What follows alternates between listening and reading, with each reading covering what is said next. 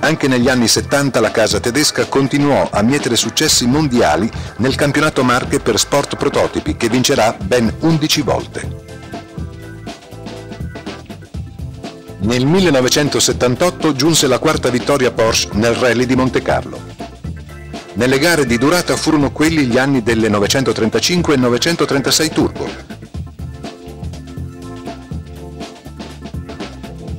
Negli anni 70, oltre alle varie versioni della 911, furono realizzate anche la 914, la 924 e 928 con motore anteriore.